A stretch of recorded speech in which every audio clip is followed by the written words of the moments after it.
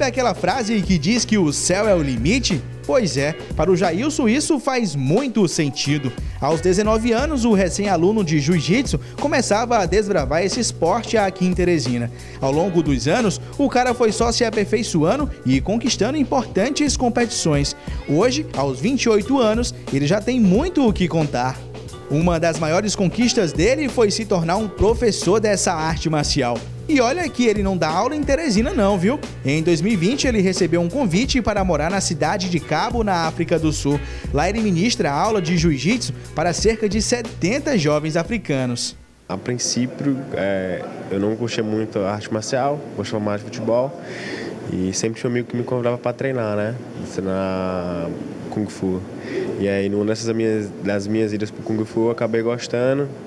É, acabei me, me, me, interessando por artes marciais, aí comecei a treinar MMA. Aí depois do MMA é que eu conheci o jiu-jitsu, né? Minha rotina lá é uma rotina bem, bem interessante, né? É, lá eu só trabalho com jiu-jitsu, é exclusivo para o jiu-jitsu, eu não faço outro tipo de trabalho. Tenho aulas o dia todo, né? Manhã, tarde, noite.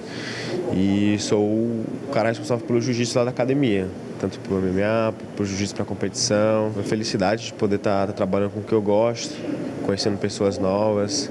O Saul foi quem descobriu o talento que o Jailson tinha com o jiu-jitsu. Esse apoio foi essencial para fazer com que o nosso professor internacional não desistisse do esporte.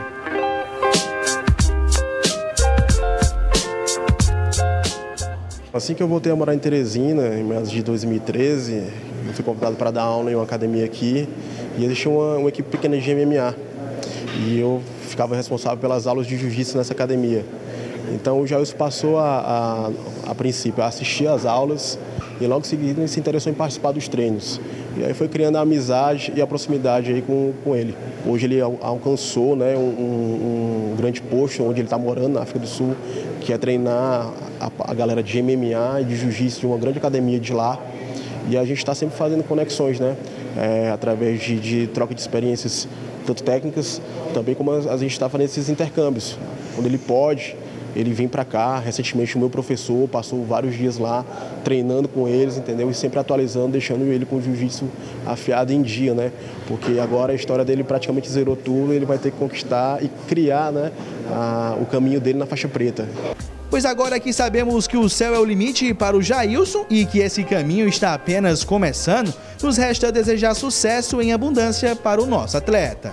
No jiu-jitsu eu tenho alguns títulos que eu quero, na, na, na BJJF, que é a maior federação do mundo, ser campeão mundial, campeão europeu, é o título do Grand Slam. E também como atleta é, poder ser campeão do, do, de MMA, no evento que eu estou lutando lá também. Esses são os meus objetivos como atleta.